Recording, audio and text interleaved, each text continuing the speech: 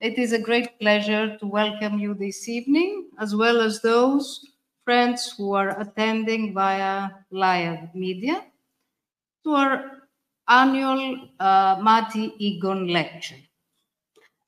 This is always a very special occasion and event as it commemorates uh, the legacy of our founder, a truly admirable woman, inspiring, kind, generous, supporting all those in need, and of course, a great uh, patron of classics.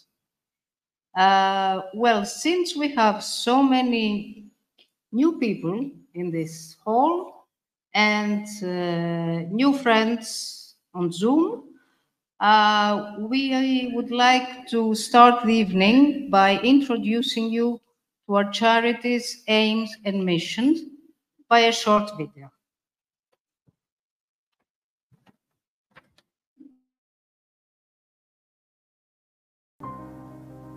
Welcome to the Greek Archaeological Committee UK annual Matti Egon lecture. The Greek Archaeological Committee founded in 1986 by Matti Egon Xilas, is a British registered charity which promotes Greek archaeology in the UK and grants scholarships to Greek and Cypriot Greek first class graduates of limited means to pursue postgraduate studies in leading UK universities. Each year, this lecture serves as a tribute to the memory of our founder, who was a source of inspiration and encouragement to all her philanthropy and generosity touched many lives. Her legacy continues to live on through the charity's Scholarship Fund and the past scholars who advanced Greek archaeology across the world. The elusive dream of studying at Oxford became a reality thanks to the generous support of the Greek Archaeological Committee UK as the committee's first scholar during my MPhil studies in 1993-1995 and later during the penultimate year of my DPhil studies in 2000. Studying in Oxford was undoubtedly a unique experience. Far from greatly enhancing my career opportunities, it certainly left a lifelong impression on my personality and the way I perceive this world. And all this became possible because of Matti Egon, the founder and first chair of the committee, who came into my life like a god fairy. And I mean this literally. I feel extremely lucky that I met her and learned through her attitude what is that really matters in this life. Her passion for knowledge, her kindness, her authentic concern for everyone will always be my lasting memory of her. Therefore, I greatly appreciate the efforts of everyone who safeguards and continues her legacy. I was one of the young scholars of the Greek Archaeological Committee UK in the years 2000-2003. I owe a great deal to Mrs. Matti Egon and the Greek Archaeological Committee UK. The committee generously sponsored my doctoral project on the Mycenaean cult of the dead, allowing me to become an expert in my field and subsequently pursue a successful academic career. I was a Greek Archaeological Committee UK and Matti Egon scholar from 1997 to 2001. Thanks to these grants, I was able to do my master's and PhD at the University of Sheffield and to become familiar with a different kind of archaeology than the one I had been used to back at Athens my debt to both the Greek Archaeological Committee UK and Matti Egon is immense. I was a Greek Archaeological Committee UK scholar between 2006 and 2011 during my master's and DPhil studies at the University of Oxford under the um, keen supervision of Professor Irini Lemos. It was thanks to the vision of Matti Egon and through her generosity and support that I, as well as um, an entire generation of archaeologists, succeeded to complete our studies in prestige universities of the United Kingdom and to continue serving the archaeology of Greece and Cyprus. This achievement and my academic career overall would not have been possible without the support of the Greek Archaeological Committee UK. I am truly in debt to the committee's founder, Mrs. Matti Egon, as well as to the patrons and academic advisors for the support and encouragement. Um, I also wish to congratulate the current president, uh, Dr. Theodoropoulou Polychroniadis, as well as all current members for continuing the legacy of Matti Egon and to express the wish that uh, this scholarship scheme that has supported uh, me as well as dozens of other students will continue to contribute to the flourishing um, of our field. You may recall that last year I gave the Matti Egon Memorial Lecture and that some 20 years ago I was a recipient of a fellowship from the Greek Archaeological Committee. Over the past decades, I came to appreciate immensely the contribution of this fellowship to the development of my studies and career. This is especially now that I'm in the US and I see that graduate students have guaranteed funding for five or six years.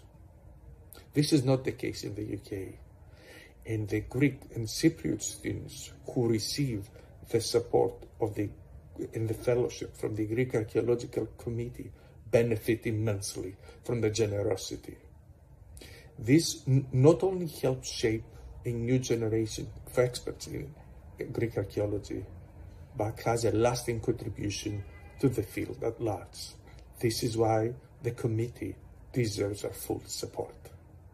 I was a scholar of the Greek Archaeological Committee UK between 2010 and 2013 for three academic years during my PhD at University College London.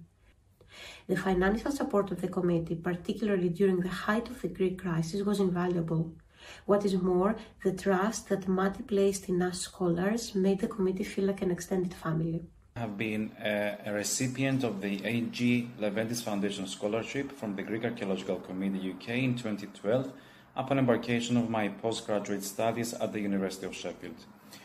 I was very fortunate to receive that one year scholarship for without it, it would not have been possible to undertake my Masters of Science in Archaeological Materials, that subsequently led to the completion of a PhD at the same institution and allowed me to further develop my training at the postdoctoral level and my current position at the University of Cyprus, as well as to establish myself in academia. I am deeply grateful to the Greek Archaeological Committee and its chair, Dr. Zeta Theodoropoulou Polychroniadis, for so kindly keeping our community of former and current scholarship recipients connected and for her overall achievements and efforts in promoting Greek archaeology. I have been a Matti Egon scholar back in 2017 to 18 when I completed the Master of Studies at the University of Oxford. The Matti Egon Scholarship has not only been a vital part of my decision to study there, it introduced me to a welcoming community of true intellectuals with whom I shared my interests, my thoughts, even my doubts about Greek archaeology today. GACUK was really a safety net for my time in England. Back in 1999, I moved to London to embark on my postgraduate studies on the Greek Archaeological Committee UK scholarship. Over four academic years, I was able to complete my master's degree and finish research on my PhD thanks to the J.F. Costopoulos, Greek Archaeological Committee UK, and Matti Egon scholarships. As a scholar, I was invited to attend the important public lectures offered by the committee in London, and I was introduced to committee members and other eminent scholars and academics. Such was the attitude of openness and inclusion inspired by the committee's founder, the late Matti Egon Xilas. The current council, chaired by Zeta Theodoropoulou Polychroniadis, honors Matti's valuable legacy in face of considerable adversity continues to disseminate information on archaeological work in Greece and awards scholarships to Greek and Cypriot Greek students doing postgraduate studies in the UK.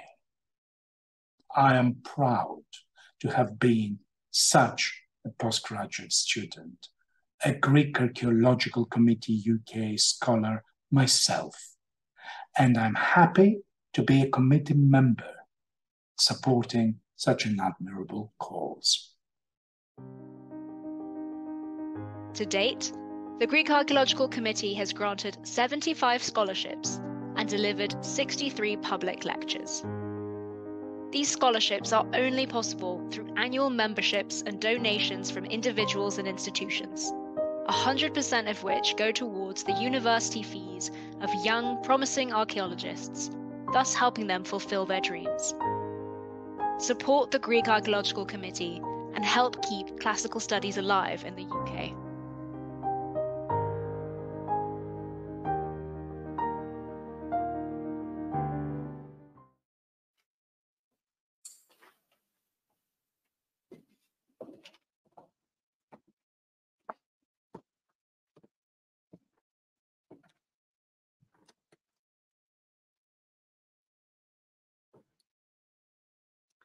This year, we are supporting uh, four scholars. We have two at Cambridge University, one at Oxford, and one at Warwick University. But of course, our work would not be possible without the generous sponsorship of our donors. And uh, the committee is very grateful to the A.G. Leventis Foundation for its continuous support by granting an annual scholarship and for generously sponsoring this evening's event. We are moreover honored by the presence of the director of the foundation and other members of the Leventis family. I would also like to thank our other major donors, Matti Egon's children, Stamatia and Nicholas, as well as uh, our members whose subscriptions fund a further annual scholarship. Finally, a big thank you to all of you for attending this evening and supporting our fundraising event. We're very pleased to announce that we have raised over 5,500 pounds for our scholarship fund through this evening's event. Thanks to all of you.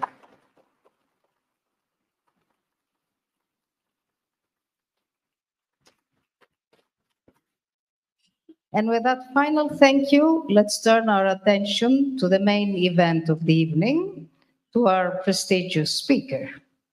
Michael Wood certainly needs no introduction. Anyone anywhere with an interest in history knows his past work and his brilliant recently published book called In the Footsteps of Du Fu, which is a, a, chronicle of the life and work of one of China's greatest poets of the 8th century AD.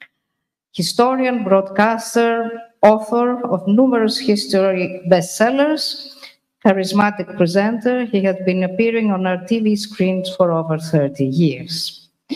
His and Rebecca Dobbs's Maya Vision television production company have made some of the world's most important stories accessible to a very wide public, often filming at great risk in remote and even hostile territories all around the world.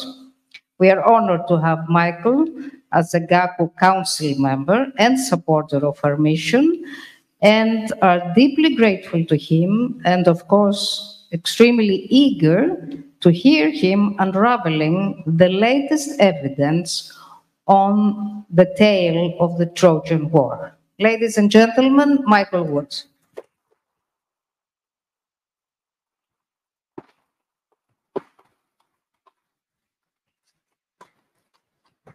Thanks very much, Zeta. It's, uh, it's great to be here. And thank you all for supporting this, this very good cause.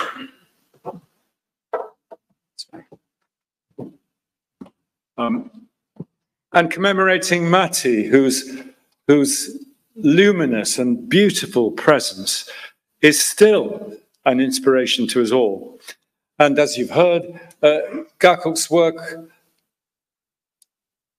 supporting young scholars, but also promoting the classics and, and nurturing relations between Britain and Greece, which, despite the blip last week, um, uh, are actually long and deep. When we talked about the subject for tonight's, um, for tonight's lecture, uh, the obvious one was the story of Troy. Um, it's got everything, you know, the drama of the story, the archaeology, text, topography, diplomatic. But having said that, I have to say at the very beginning, I feel a bit of an imposter standing in front of you here in such an audience because I'm not a specialist in the Bronze Age. I'm not an archaeologist. I'm not a specialist in Greek history. Uh, but as a filmmaker, I've made quite a few forays into, into Greek history. And, and one of those our 1985 series, it seems unbelievable to think it's that long ago now. I used to think it was a clerical error, but I can no longer claim that, I'm afraid. Um, that series and the book on Troy had quite an impact in the field, stirring up questions above all. And in fact, the fourth great excavator of Troy, Manfred Korfmann, wrote me a letter not long afterwards saying it was reading the German translation of that that really convinced him that they should go back to re-excavate Troy. So uh, it played a little part in that.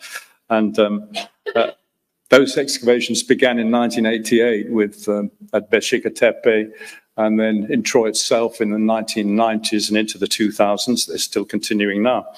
And I'm going to talk about some of the amazing discoveries that they've made, fascinating discoveries that they've made, um, especially with the lower town of Troy, and wider discoveries about the topography of the whole Trojan plain. I'll, I'll, talk about some of those tonight and show you slides. At the same time, there have been major new discoveries uh, on the Hittite side with the Hittite diplomatic archives. In the late 1990s and 2000s, uh, I, I, should mention perhaps especially um, David Hawkins' work here uh, on the geography of the Hittite Empire, which has revolutionized, well, firmed up our tentative understanding of 40 years ago to now clarity about where many of the kingdoms of Western Anatolia were. Uh, and those that scholarship has culminated in 2011 with the first complete edition of the Hittite tablets with translation, the Hittite tablets that refer to the Greeks, as we'll see. And in 2019, a, a huge volume devoted by a number of scholars to the to the uh, uh, the most important of all those texts, the Tawagalawa letter. We'll come to that later. Um, so, in the last 30 years, the subject has grown exponentially. Um, and it's a great moment to attempt even a kind of popular overview. So, tonight, I'm going to talk about an hour, and uh, I'm going to try and give you that overview. Uh, I'm going to try and tell the story of the discovery and excavation of Troy, then the story of the diplomatic archive of the Hittite Empire, in which real letters exist written by the kings of the Hittites to the kings of the Greeks. And now one letter has been identified as a letter from the king of the Greeks to the king of the Hittites. And then finally, We'll try and look with a few speculations about how we can combine that kind of evidence um, from the Hittite tablets and the archaeology to construct a possible, plausible story of what one imagines was one of several wars around Troy at that time. And in particular, perhaps, to see whether there are any clues in the Homeric text which might have come down from the late Bronze Age. So, the story itself, um, well, you know, um, it never stops, does it? Incredible outpouring of books in recent times. Video games. My first slide was the Total War Troy video game.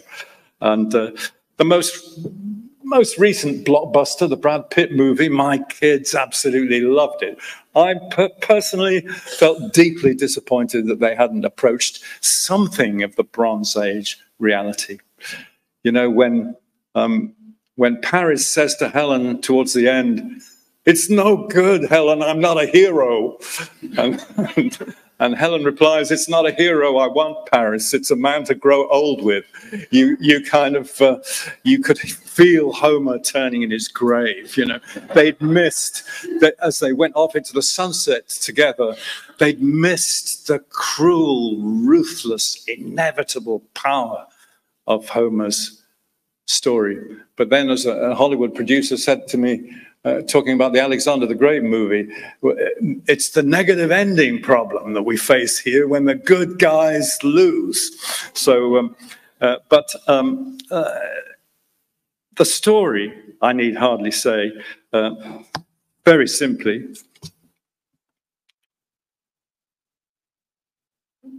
the, the abduction of Helen, a thousand ships assembled to win her back to make war in Anatolia, the 10 year siege,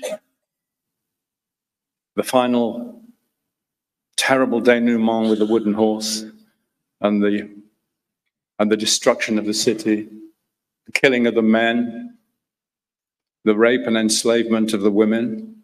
Those were the customs of Bronze Age warfare. And that's why, ever since, Troy has stood for perhaps all cities destroyed in war. Mariupol, Gaza. Ask me for an image of human civilization, said the Roman philosopher Seneca, and I'll show you the sack of a great city.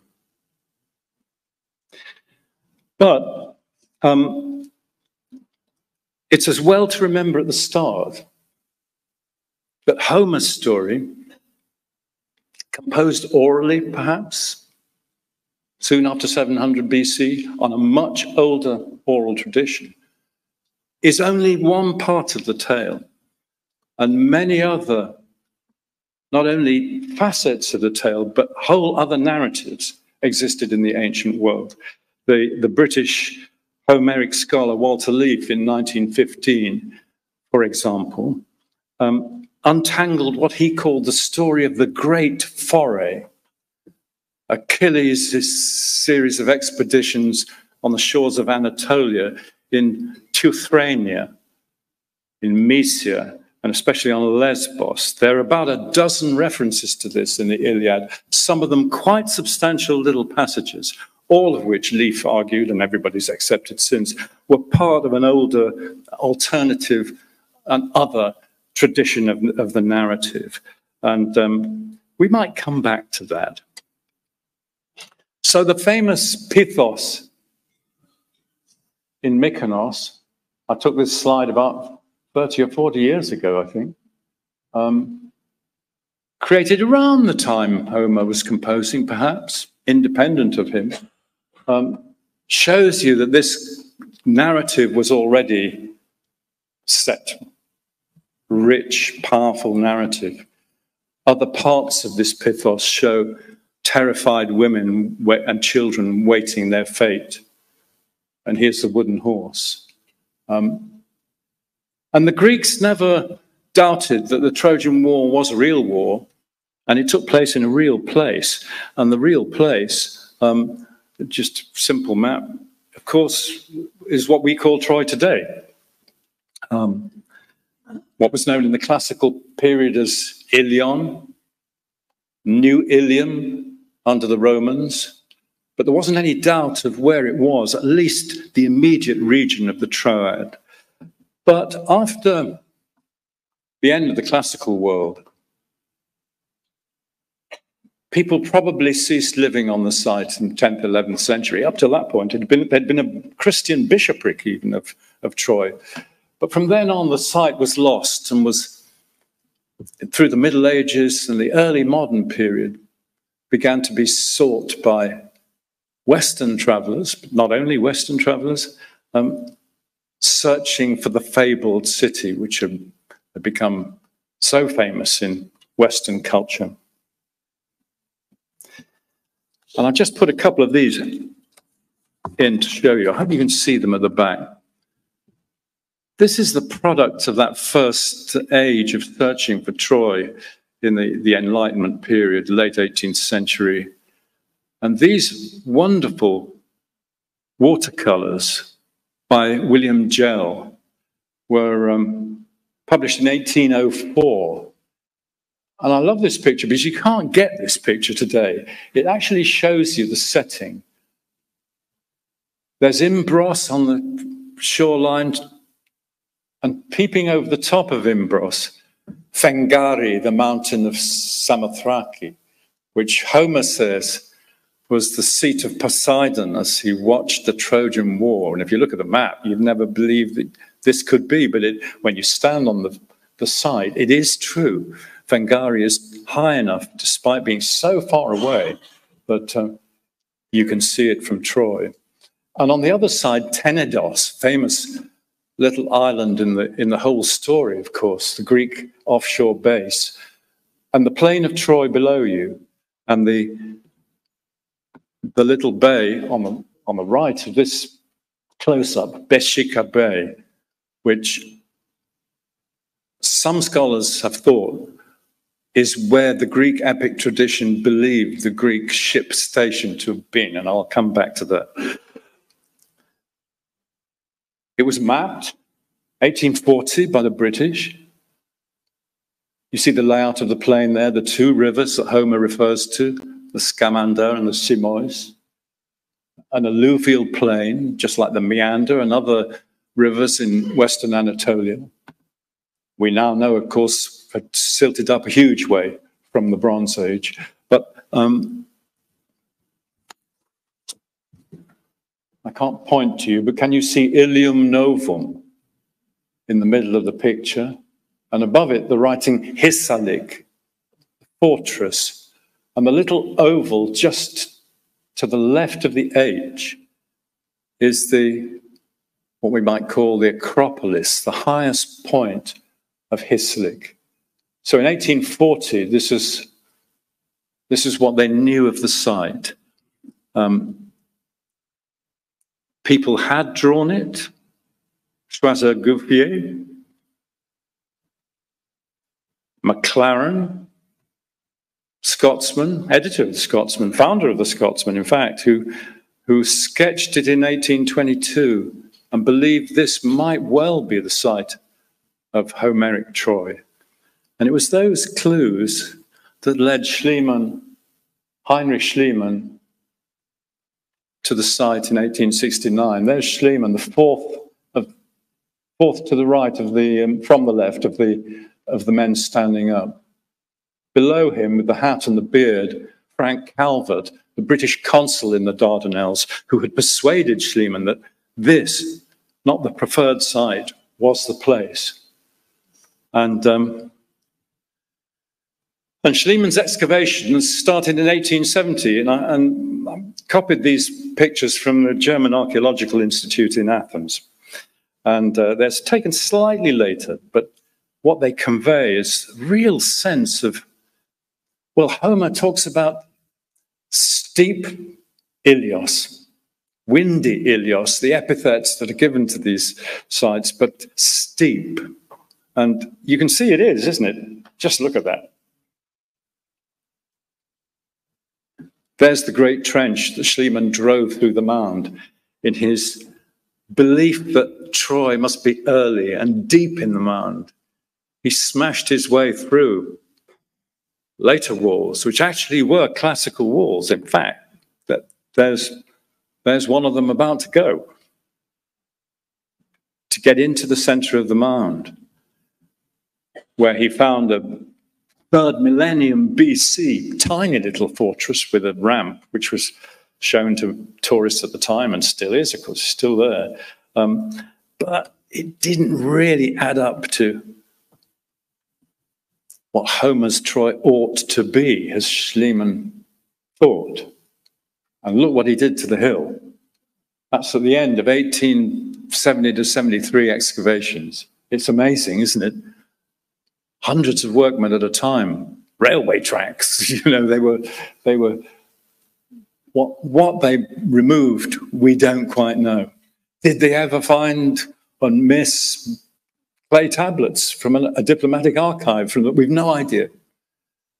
I said to Korfmann, what about going through Schliemann's dumps? And he said, sadly, it would be too difficult, too much trouble.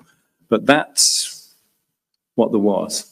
So Schliemann ended his life 20 years after he first started digging without having found the link that told him this could be the Troy of the late Bronze Age. There he is in this last photograph with Dörpfeld, his young assistant, his hand on his shoulder, and Frank Calvert still there at the top. And it was Dörpfeld who made the great discovery. Schliemann had actually smashed through buildings of the late Bronze Age in order to get at that earlier site. And you can just see one here.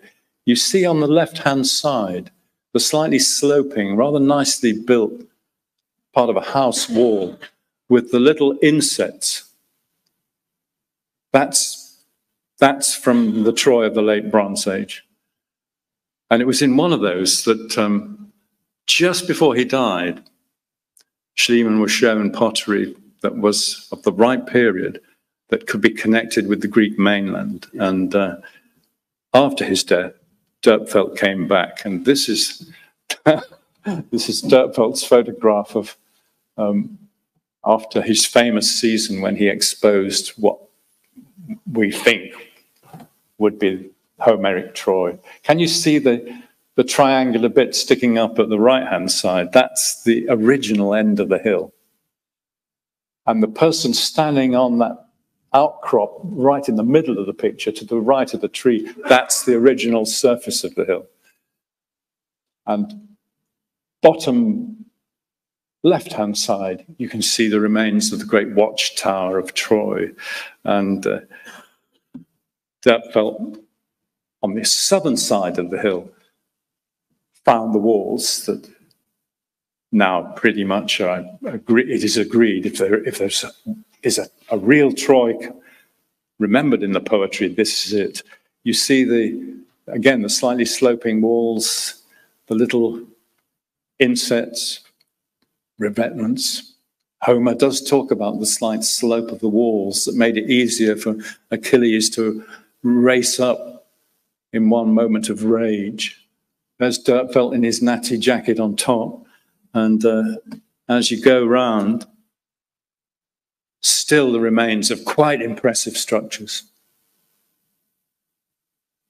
But it shows you how complicated the site was. The walls that the guy's leaning against in the left hand side, they're Roman.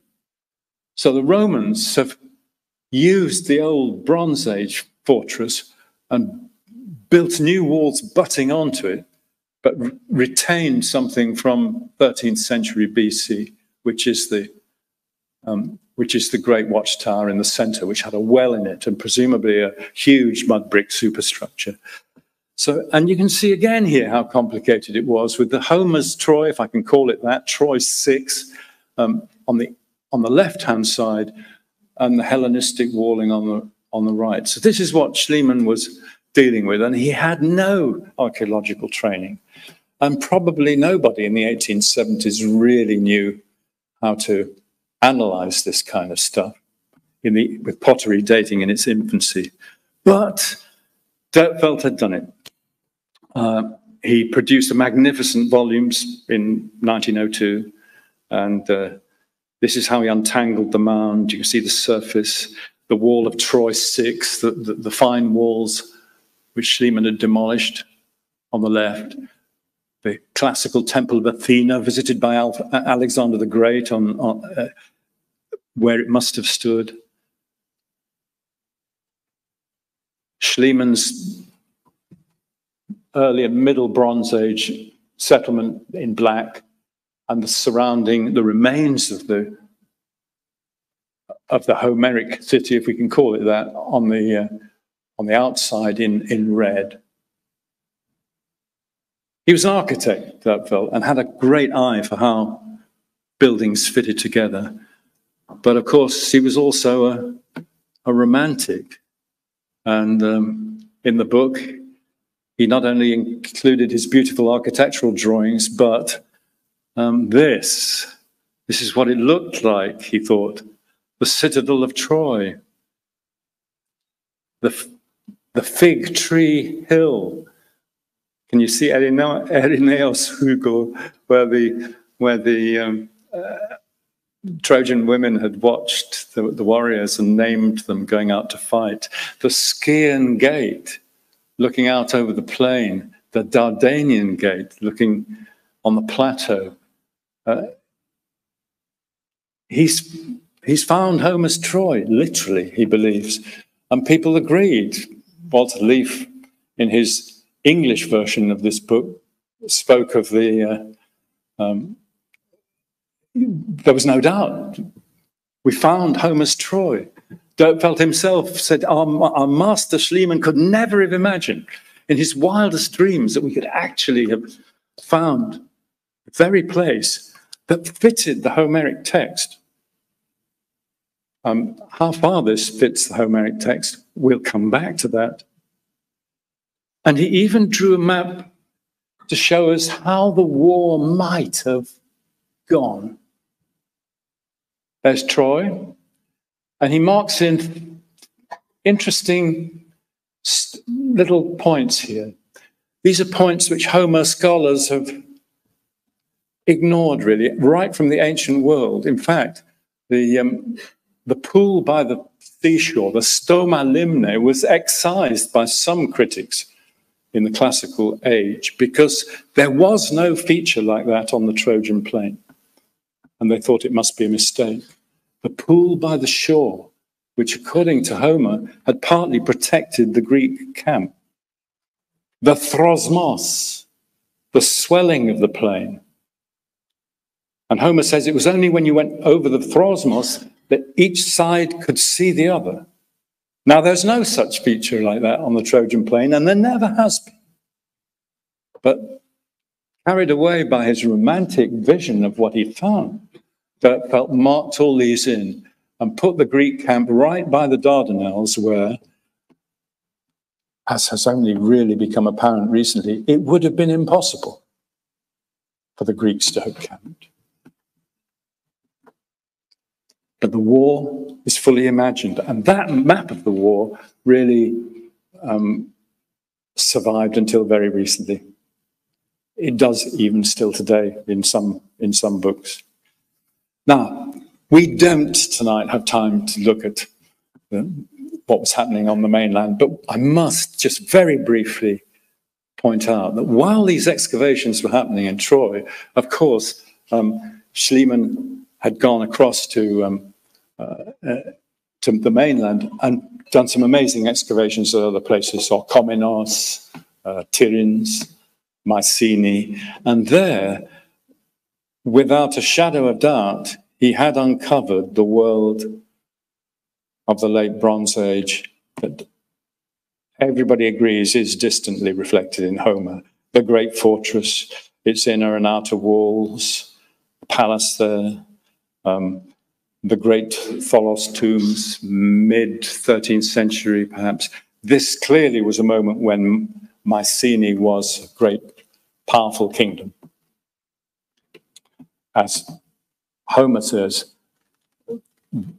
Agamemnon of Mycenae was the was the leader, the primus inter pares, the leader of the coalition that went to Troy. So Mycenae was especially important in the Homer tradition and here, there was no doubt the architecture showed it was.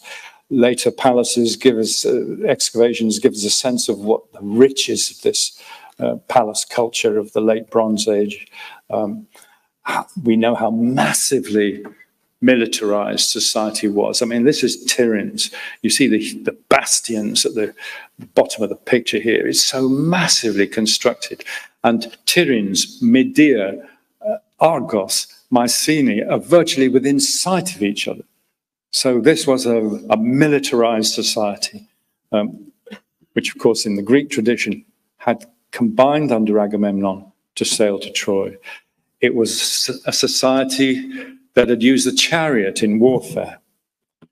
Um, it was a society whose warriors are depicted in, in uh, in art of the time, the, the, predecessors of the hoplites, if you can put it that way. And, uh, and of course, in Schliemann's time and later, a lot of their weaponry has been excavated. So when Homer talks about the, the silver studded sword, stuff like this, you, you, we can see them. So, and when Homer talks about the boar's tusk helmet, he's, he's remembering something which was no longer current in his time. You know, possibly a metrical fossil handed down by the bards over 500 years from when these things were still worn. So in the Homeric text, hints of that Bronze Age world. And that's the, it just a, gives you a rough sense of the world that was, by the early 20th century, was coming into focus of how people understood the Mycenaean age. But what was happening in Anatolia was another matter. And, uh, and to bring these two together, the Greeks and the Hittites, the Greeks and the Anatolians, we need to go to the empire of the Hittites. Uh, this is Boğazköy, a bleak day. I've shot these. Uh, but the, the vista's too big to even encompass in a single picture. But these vast palace, town, city site surrounded by huge gorges, the crags all around it topped by big cyclopean walled forts, some of them almost as big as the Greek palatial sites. Um, an enormous center, which really until the 19th century, nobody had any idea of the existence of the Hittites. It was only in the 1830s that Charles Texier had actually um, got to this place and explored it for the first time and, and written about it for a Western audience. And it was really only in the uh, from 1907 onwards that the excavations here at what was called Hattusa um, had uh, revealed the nature of this big empire. Huge defensive. This is just one corner of a vast bastion running for about a quarter of a mile. Um, the chapels, all of these were mute, really, until uh, the language was deciphered. Um, that's the sort of gives you an idea of the size of the empire uh, towards 1300 BC, towards the same period of the Mycenaean, um, the Mycenae's preeminence, beginning to reach out towards the Aegean. The excavations at Hattusa in 1907 turned out what they hadn't turned out in Greece, an enormous diplomatic archive. More than that, literature, letters, treaties, uh, an amazing catch of, of, of, material, which continues today. These discoveries continue today. And, um, and when the Hittite language was deciphered by Hrozný in the First World War, it was discovered to be the, the earliest Indo-European language, and almost immediately, uh, whole new questions arose. This was an empire which had ruled from, at times, from the Aegean to Syria. They had fought battles with Ramses II, the Battle of Kadesh in 1275. They'd contested with the Babylonians and the Assyrians. They were a major, major power which had slipped entirely out of our consciousness in the intervening 3,000 years since its fall. And here they were suddenly coming right out at us. And the texts were astounding. And as scholars began to analyze these things from, um, from, nine, from end of the First World War onwards, uh, some extraordinary readings were made. And I put a picture here of Emil Forrer. He was um, Swiss Hittitologist, who was only in his 20s at that time. I mention it because although um, uh, you know, he was born in early 1890s and who, his famous contributions to this debate were in the 1920s, I had a chance to talk with him. Um, he, he gave up on um, Hittite studies and ended up in El Salvador, of all places, in Central America. But uh, with a half thought in mind of those years ago that we might possibly talk to him about his role in this astounding story, uh, um, we rang him up and uh, had a brief word with uh, with Forrer about his uh, his his amazing story. In the end, we decided it was much too much money to send a film crew out to El Salvador for a very short interview. But Forrer was the person who first drew attention to these astounding correspondences between the Hittite texts and Homer and the Greek. The most obvious and the very first one, which struck Forrer and a number of other scholars in the 1920s, was that Homer calls the Greeks the Achaeans. And, Greek, and Greece itself, Achaia, with the W in pre classical Greek. And here was a powerful kingdom in the West, in the Hittite documents, called Achaia, Ahhiyawa. And, and the Hittites had one god in particular, in, in, uh, and the, I'll come back to Apollo in a moment. And in the, in the, in the west of their empire were two place names which were most striking. Wilusa and Taruya, or Taruisa, uncannily like Homer's names for Troy.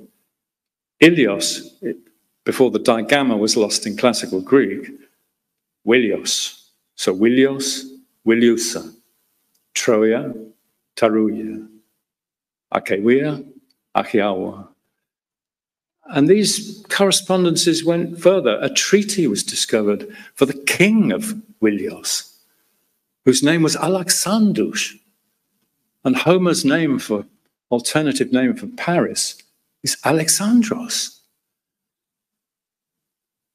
And later scholars, this is not Forrer, pointed out that other names in the Trojan story read much more plausibly in an Anatolian language Paris, Paria, or Pariaziti. Priam, Pariamu. These, I mean, I've always felt that the common sense reading in history was usually likely to be the right one if there was nothing against it. But this was resoundingly rejected by especially the German academic establishment. And uh, despite the fact that other, there were very interesting things came out about the, the kingdom of Ahhiyawa, the kings who were my equals in rank, the king of the Hittites wrote. And even though Ahhiyawa had been crossed out, that was something.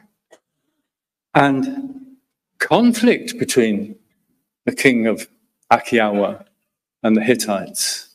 Hostilities have broken out. And even the matter of Wilusa about which we were hostile, about which we were in conflict, even. The common sense reading of these documents from the 1920s onwards was that Wilusa was Troy, and that the Greeks and the Hittites are corresponding about this event or a series of similar events, but it was rejected. Rejected. Um, whilst people argued about the, the geography of the Hittite Empire. And that long and difficult argument has only just been resolved from the late 1990s by scholars like David Hawkins.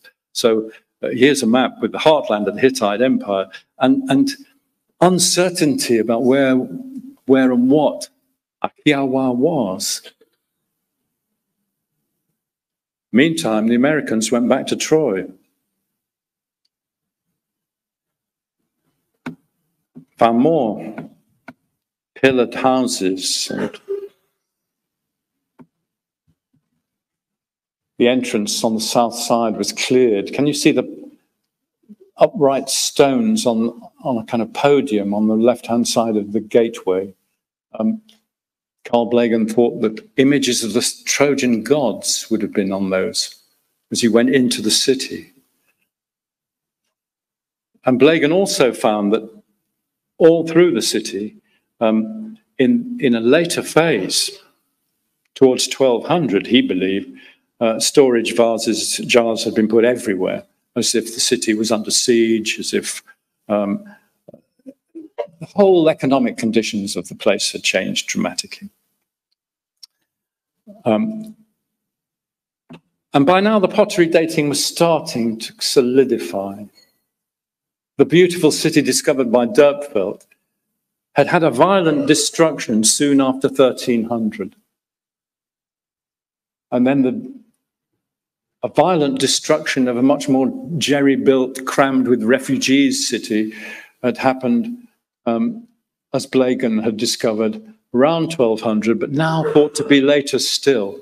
Um, so those were two possible, two possible dates for the Trojan War, but nothing certain. In the meantime, one of the most important of all discoveries was made, and that is that the language found on the clay tablets in the Greek palaces turned out to be Greek. I know it sounds incredible that people thought that it wasn't, but they followed the old narrative of the Greeks' arrival uh, after the fall of the late Bronze Age, the Dorians, and so on in the Iron Age. And instead, tablets that had turned up at Knossos and Mycenae and other places now gave us the full picture that Mycenaean Greece was indeed Greek. And soon, with the decipherment, you could even see that the, the continuity of Greek culture back into the Bronze Age. Atana Potnia, Athene, Artemeto, Artemis, Poseidon, Poseidon, Enuario, Enualios, the god of war, and so on. And all kinds of other um, things came out on these tablets. Um, the stuff ex excavated at Pylos gave us the military order of individual palaces, in this case, Pylos, hundreds of rowers manning the boats, um, probably 60 or 70, maybe upwards of 100 chariots in a, in a great palace. Here's a little passage of Greek from, from Pylos, rowers to go to Pleuron being, being listed. So a whole other dimension came out of the decipherment of Linear B in the next 20 years. And uh, with little hints of war in Anatolia. And one of the most interesting were these places which revealed women textile workers or women captives being taken from places in Anatolia back to work on plantations in Greece. From Knidos, Zephyros, which is an old name for Halikarnassos, Miletus, Chios, Lemnos, Asiwia, which is the original form, Asuwa in Hittite, Asia. The original of the word Asia is actually um, the Anatolian coast south of Troy and possibly even Toroja. So I'm skipping through this, but to give you a sense of what a revelation came with the decipherment of Linear B. Now we come to the modern excavations. This was the situation when we made our films in 1985. And Manfred Korfmann then decided he was going to go back. And here's what they found. This is Korfmann's map of Troy. And the little citadel at the top is what Dörpfeld had, had drawn in that map I showed you earlier. And the red lines snaking down, the blue lines of the Roman and classical city with the grid pattern of the Roman city. But the, uh, the red line is the defensive ditch and palisade of late Bronze Age Troy. So the city, Troy did have a lower city. Manfred Korfmann thought, thought somewhere between five and 10,000 people could have been living in it, with the citadel just for the, uh, the, royal family, perhaps. There's the citadel, as we now understand it, adding to what Dörpfeld found. Probably about 20 houses, a palace, and a temple. Um, the pillared hall the, near the gate, it was thought was a temple, but recent, very recent discoveries have wondered whether it was actually for textile manufacture, interestingly enough. And this is what Troy looked like. The stone walls, sloping stone walls with a mud brick superstructure, none of which survives, of course.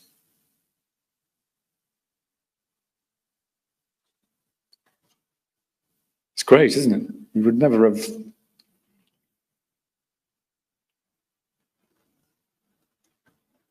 There's the bastion that I showed you in the black and white photo from Dörpfeld with its superstructure in mud brick.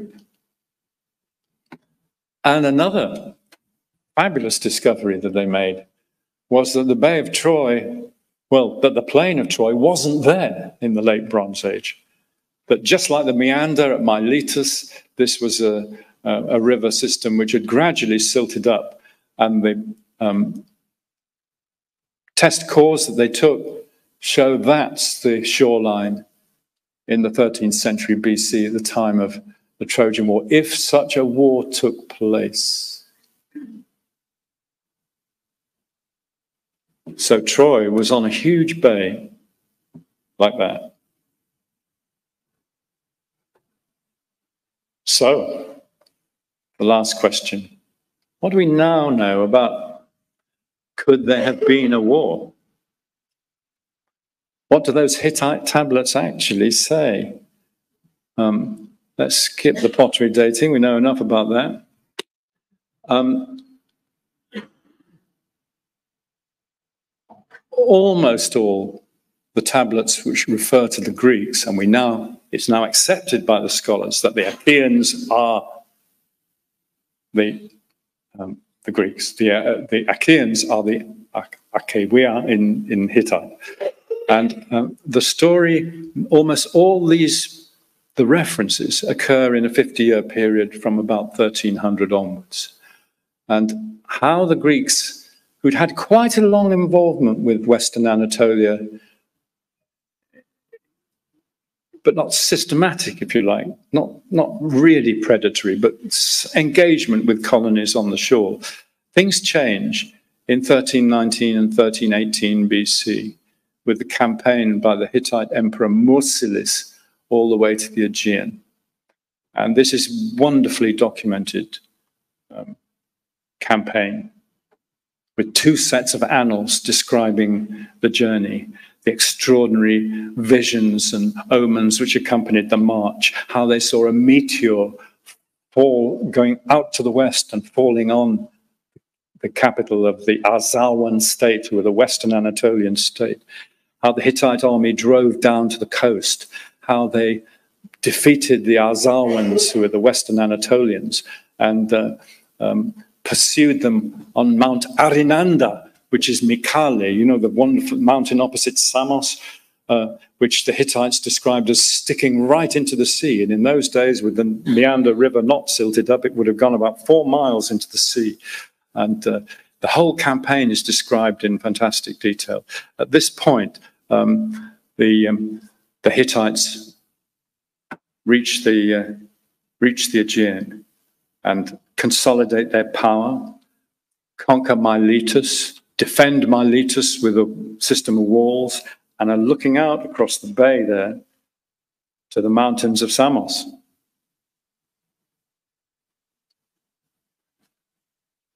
There's the, there's the hills and slopes of Mikale that the Hittite army the ground was too rough and too wooded for chariots, the Hittite emperor says, and I led my forces up on foot.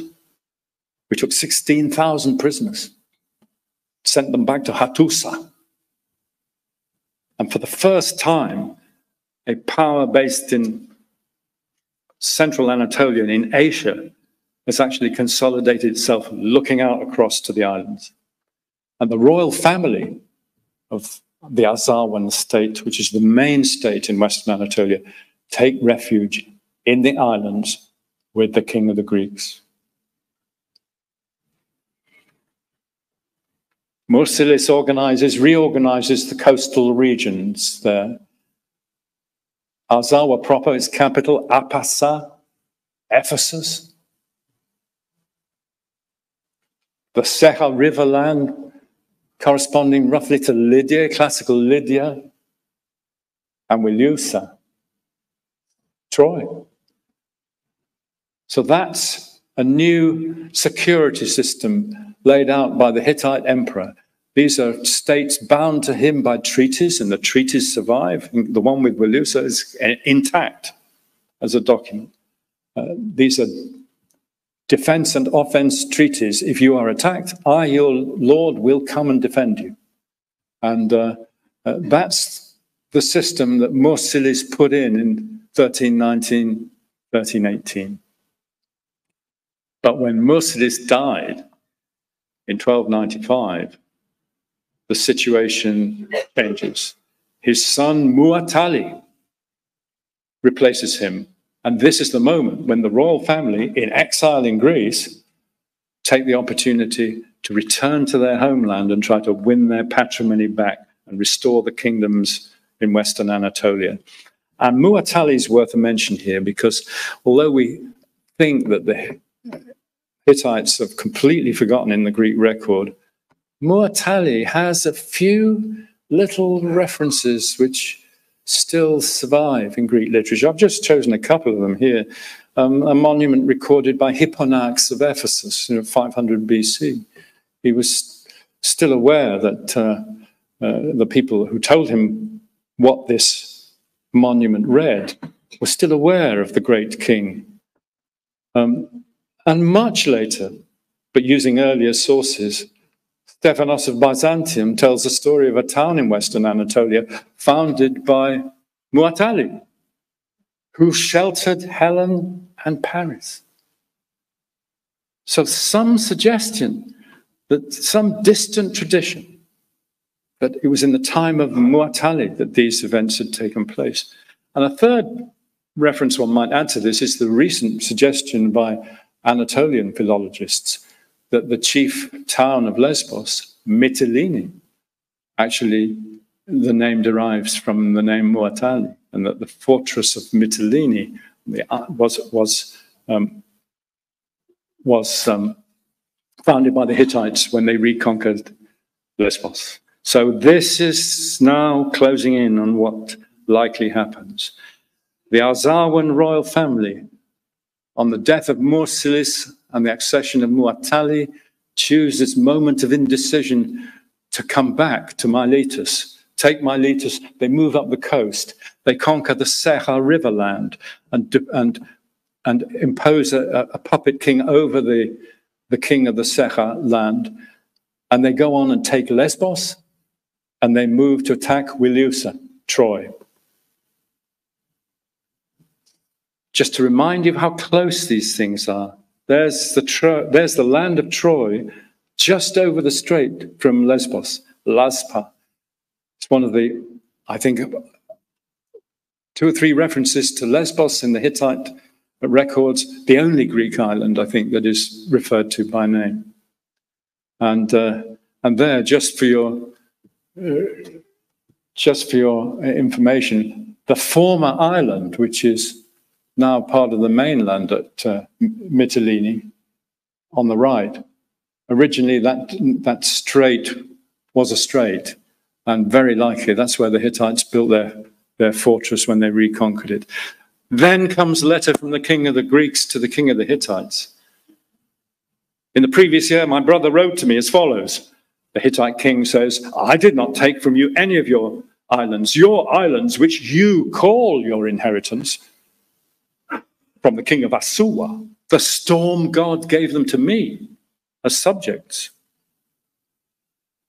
Now, the king of Asua was on good terms with the king of the Greeks, king of the Achaeans. So his great grandfather, Kagamuna, previously married his daughter. A little bit of uncertainty over who marries who at this point, but the general gist is clear. Then Tudhalia, your great grandfather, defeated the king of Asua and subjugated him, but the islands indeed formerly belonged to the king of Ahhiyawa. They're Greek, So there is a, this fantastically interesting letter, fragmentary, but nonetheless, uh, reading between the lines, you can see the king of the Greeks is actually in, in, in a dispute with the king of the Hittites uh, over, um, over their claims over Lesbos. The Hittites launched their attack to respond. Maybe eight or ten weeks to get an army out to Troy, by which time everything perhaps had already fallen. A little moment on the way, somewhere in Lydia, the capital of the Seha Riverland, the king writes to the king of the Hittites, At the moment, all is calm. Gasu, your general, has arrived with the Hittite army. When they went to attack Troy, I was ill. He goes on and on about his illness. He's obviously trying to excuse his inaction. When they went to attack Troy, I was ill. They humbled me and they went on to attack Lesbos. All of this early in the reign of Muwatalli, 1290 BC. Greek troops on the mainland, even illustrated on Hittite ceramics.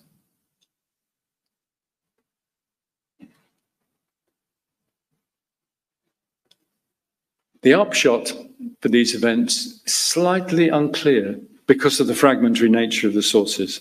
And the crucial source, the Tawagalawa letter, um, maybe Muwatalli, but Trevor Bryce assures me is now most people think that it's Hattusili, his, his, um, his son. But um, it doesn't alter the basic picture. At the moment all is calm, Gasu has come, they went on to attack Lesbos. Um, yeah.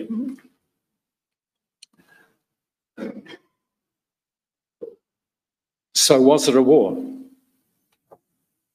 If the Greeks were aiding their, their proxy kings, the royal family of Arzawa, what actually happened? And is there any trace of this in the Greek sources? Well, um, now we come to the topography and whether there are any clues in the in the Homeric text that give us a little purchase. This is Beshika Bay, um, which I pointed out earlier. It's, can you see bottom left?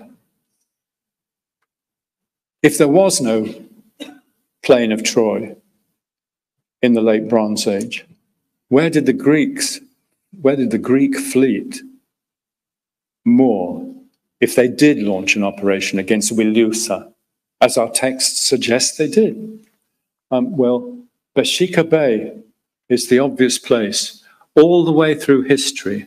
There it is. You can see it's still a fantastic, uh, a wide bay today. Homer says the Greek fleet was moored between two, in a wide bay between two headlands. And that bay was used all the way through history because uh, with the currents down the Dardanelles, you often had to wait, sometimes even weeks, before you could get up the Dardanelles. Uh, and you could find any number of illustrations. This is from the British campaign in the Crimea in the 1850s of huge fleets mooring in Beshika Bay with temporary camps growing up with restaurants and uh, all, all the rest. Right by the side of Beshika Bay, famous tumulus, which Greek tradition said was the tomb of Achilles, back to the Archaic period. And the dig that Korfmann began there actually uncovered Mycenaean uh, cremations with the seal stones of Mycenaean aristocrats. And then, now we get to the real nitty gritty, and I do think this is a fascinating clue. Do you remember at the beginning I spoke about the, the Homer's account of a, the stoma limne, the pool at the shore, that the Greek camp was partly protected by a lagoon, a stoma limne. Um, and unbelievably, the soil cores in Beshika Bay have revealed that you can see the date there, around the time of 1500 to 1000 BC, there was indeed a lagoon behind Beshika Bay. But not in Homer's time.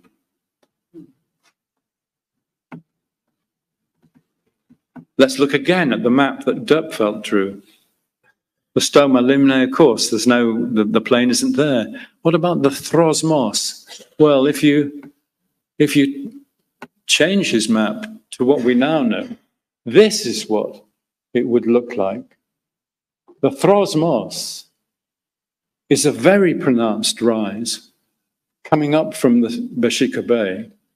Uh, so important a landmark that there's still an Ottoman watchtower on top of it today, where signaling could be done from the shore to the, uh, to the Dardanelles. So there was such a feature. And indeed, you can't see Troy from the other side of the Throsmos, and you can't see um, the, area of the Greek camp. And if you went on, of course, what Dörpfeld and everybody had forgotten that the river is a major feature in the Homer story.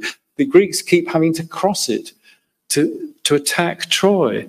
And in fact, there's a, and even in the summer, it's quite an obstacle. And, uh, oh, God, my, I'm losing things here, but never mind. And Homer has this phrase, the bridges of war, which classicist Stephen Rees has analyzed as a very ancient formula and wonders whether the, the reference is really to siege causeways and embankments. And that leads you to the citadel of Troy, the blue walls of what um, uh, Manfred Korfmann has now uncovered, the outer city wall. And you can see if you approach from this side, if you were going to follow the Dörpfeld's romantic interpretation of everything else, you would immediately come to the great tower, which is the, the biggest landmark architecturally of, of Troy. And, uh, and the Scaean gate, the left hand gate, there were two gates. The other one would lead to Dardanos. So, um, has the oral tradition come down through Homer, remembered, even when people said it was meaningless, that there was a pool behind the shore, that there was a Throsmos over which you had to march before you could see Troy, and that when you got to Troy, you saw the great Tower of Ilion.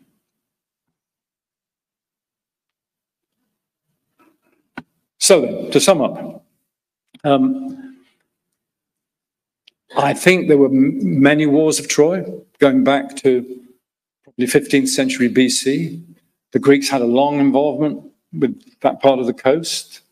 Um, but this, to me, looks like a real confrontation, even though the fragmentary nature of the Hittite letters doesn't quite confirm the picture that you intuit from it.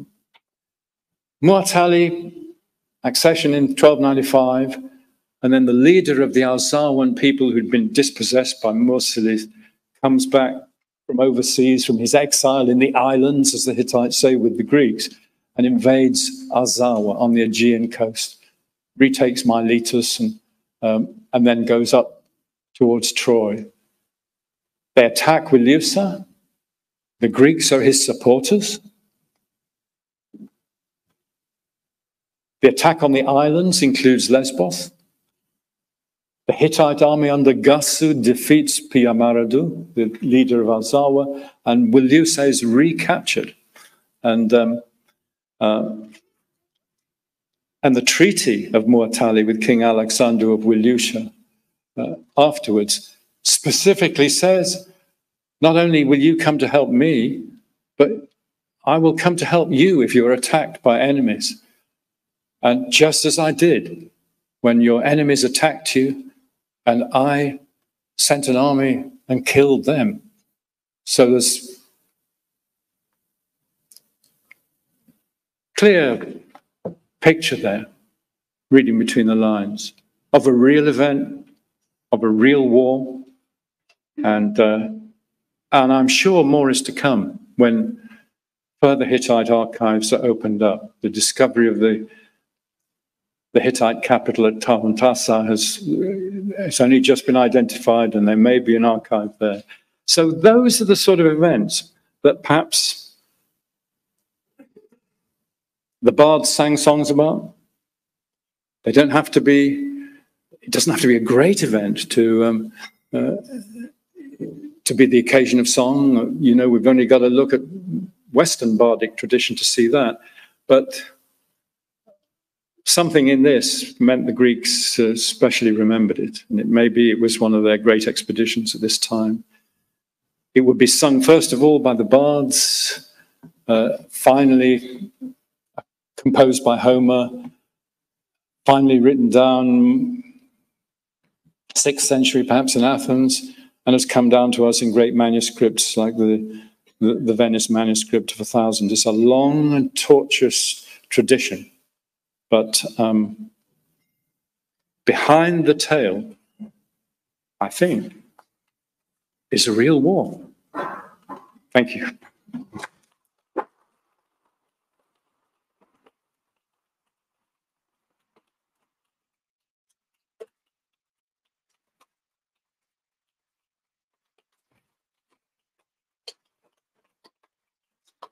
Now, Zeta says we haven't got time for questions, we must have drinks. But uh, I'm very open to questions if anybody wants to uh, to buttonhole me. Yeah. Thank you, Michael. Splendid presentation, very informative. Now I would like to invite uh, uh, Professor Andoni Makrinos to give the vote of thanks. Anthony Makrinos is uh, associate professor uh, in classics at uh, UCL. He's a Homeric studies expert, uh, a friend and a compatriot of the late Matti Egon. Anthony.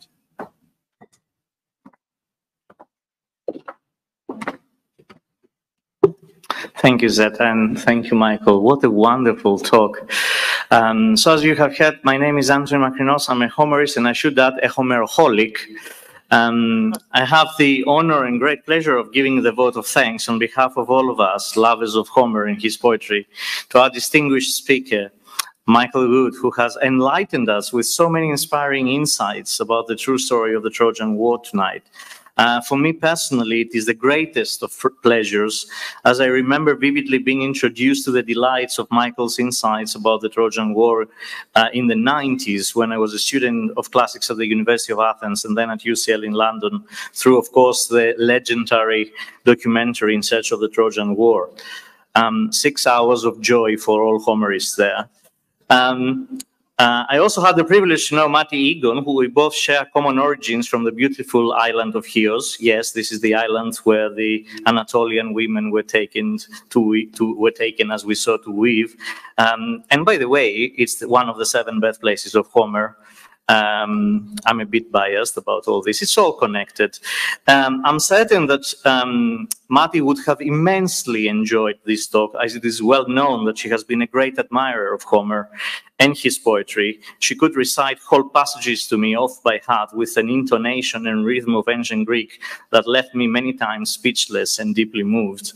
Um, and I'm eternally grateful to Matti for so many things, uh, but above all, my love and passion for Homer. Um, now, as a good Homerist, let me start from uh, Homer. When Book Two of the Iliad acknowledges the immense task ahead of him when he tries to enumerate um, all the leaders and the numbers of ships of the of the Achaeans, he says it is an impossible task. Um, and even if he had 10 tongues, and 10 miles, he could not tell over the multitude of the Greeks and their ships. And that's why he asks for the help of the Olympian muses. Well, ladies and gentlemen, I hope that the muses this evening are listening because even if, if I had 10 tongues and 10 uh, mouths, I would not be able to recite to you the multitude of Michael Wood's books, speeches, television series, documentaries, lectures, online discussions, and social media interactions about not only Homer, but the history of the world. So, Michael, the whole world, and especially we as Greeks, are eternally grateful for your work. Um, and this is why I'm confident that the Muse will inspire me to give you a concise um, and very brief summary of what we have learned tonight. Uh, so Michael has shared with us everything about the discoveries at Troy. Um, he argued convincingly that uh, the narrative was already set uh, with very convincing references to topography, archaeology. We have seen um, the excavations of Schliemann and Calvert.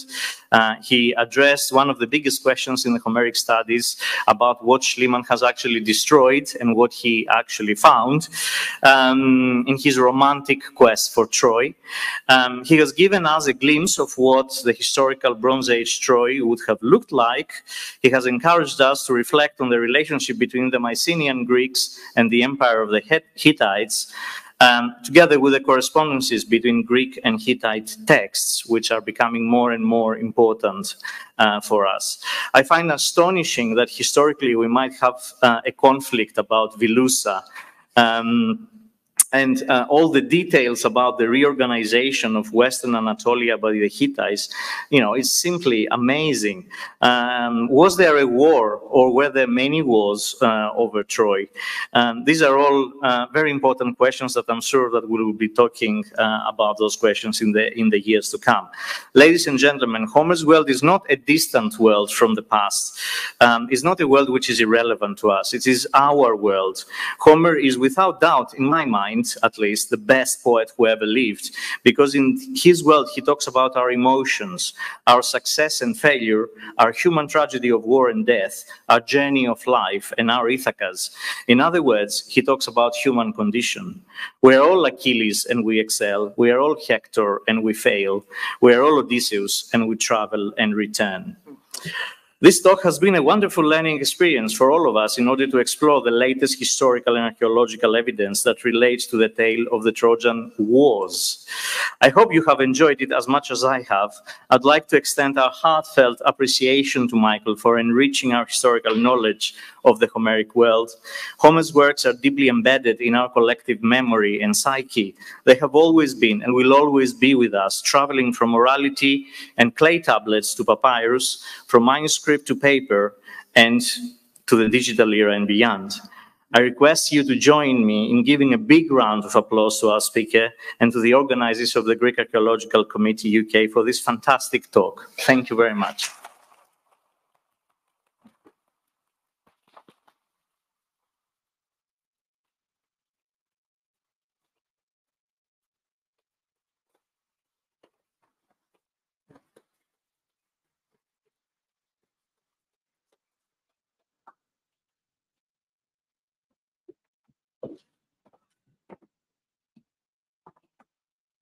Yes, it's me again. Sorry. well, uh, I thank both of our speakers, and I would like to thank you all for joining us. Uh, I'm afraid we won't have uh, Q&A in that sense, but please join us for uh, uh, some drinks and nibbles. There's a reception at the back of the room, and you'll have the opportunity to uh, meet our speaker and all of us and our scholars.